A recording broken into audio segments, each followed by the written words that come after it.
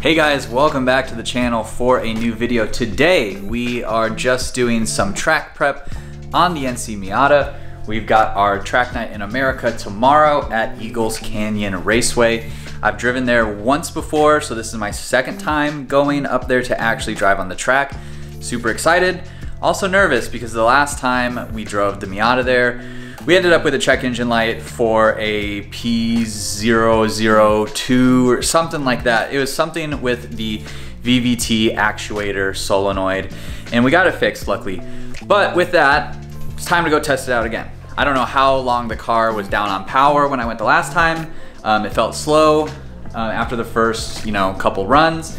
So I'm excited to get back out there and give it another shot. There are a few things that we need to check first on the NC Miata. It's pretty well sorted. Um, I don't drive it too often, at least I haven't lately. It's been cold, it's been raining. So it's kind of stayed in the garage. Not a ton has changed since the last time we took the car to the track. But the few things that we have done since the track day are the Touchstone Racing Brake Master Cylinder Stopper, We've got the fender vents, which probably aren't gonna really do too much as far as I can tell on the track. We've also put in the new personal steering wheel with the hub and everything like that. And we've also gone back to the stock shifter.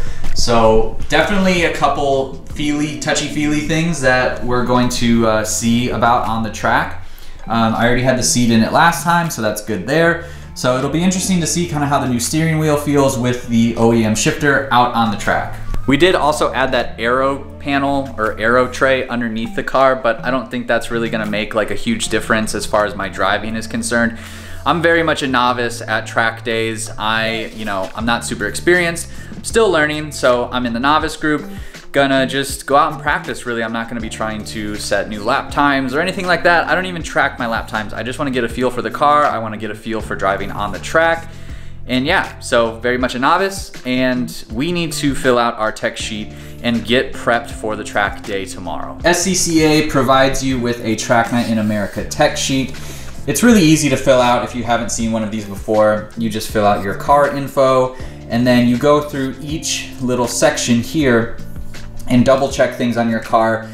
Makes things go quicker when you get there and it makes the inspection go by quicker, which is good. So we're gonna be going through this list, checking off all the boxes that we need to check off. So we'll be good to go for tomorrow and then I'll show you packing up the car and everything that I bring at least on a track day, autocross day, um, just some simple tools and things like that that you might wanna take along. So one of the first things that we're gonna start with are the wheels and tires. So first things first, I'm going to double check all of my torque specs on the wheels. And uh, looked online and, and people say, you know, 80 to 85 pounds. So I'm going to just set my torque wrench to 82.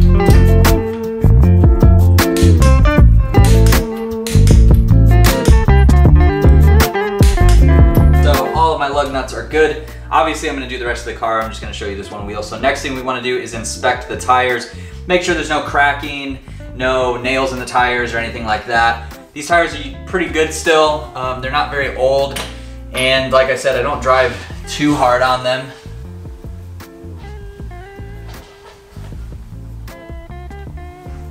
All looks good. Next, we're gonna check the brakes. Brakes should also be pretty good. Yeah, there's plenty of life left in the pads. There's a certain limit on how low you want your brake pads to be, but mine are really good still, so that is all good there. And while you're down here, you wanna give your wheel a little shake. No play in the wheel or anything like that. Double check your coilovers and suspension so there's no leaks or anything like that. Everything is looking good. So this wheel and tire is done. Uh, suspension should be good on this uh, part of the car, this corner, um, and ride height is where I want it to be. So I'm gonna go around, check the other three tires and wheels, and we'll move on to the next step.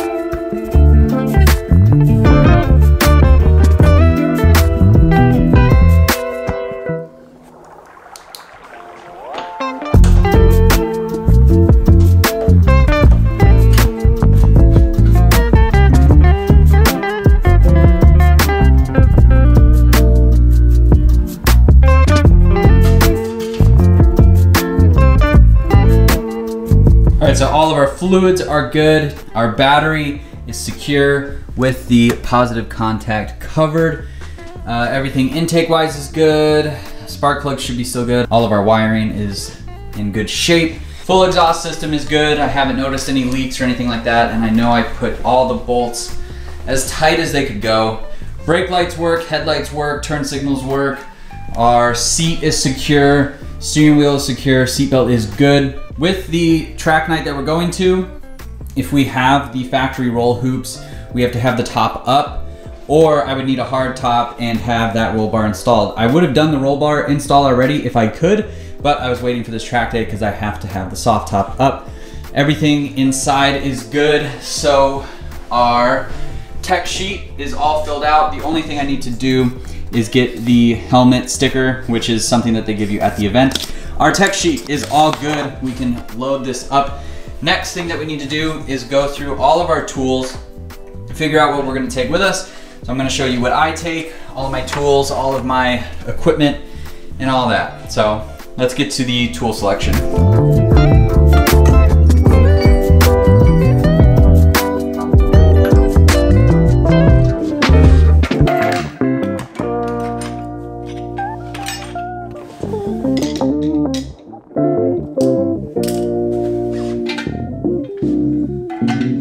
Here are all the tools we are going to bring. So we've got extra fluids, coolant, and oil. We've got jack stands. We've got our coilover adjustment tools, a rag, I mean metric, sockets and wrenches and all sorts of little stuff. So this should definitely get us through. I've also got my helmet, can't forget that. But this should get us through a track day that's not super intense. Um, we've also got my air pump, so Hopefully we don't need to use any of this. You might be asking why I didn't check my tire pressures yet. It's best to set your tire pressure cold and I'm gonna be driving there. So I'm gonna get there, let the car cool down for a little while, and then we will get the tires adjusted there. But I think otherwise we are all good. I just have to get all my camera equipment set up. I think we're good to go. I am going to get all this packed up into the trunk and then we can go ahead and wrap this video up.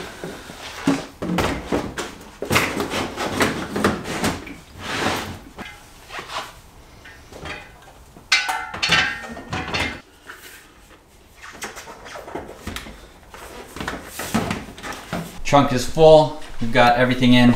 These little, uh, what do you call them? Milk crates, egg crates, whatever you want to call these. They fit perfectly in the back of an NC. Um, so they kind of hold pretty much everything that you need as well. So that is all good. And now we are ready to go racing. So I hope you guys enjoyed this video, seeing kind of how I'm preparing for a second track day. The same kind of thing applies for autocross for me. You know, I don't take it too seriously. It's really just for fun. So I just want to have everything at the ready in case something goes wrong. Fingers crossed that it doesn't, but we're ready to go. So uh, you're watching this video Wednesday. Track day was yesterday.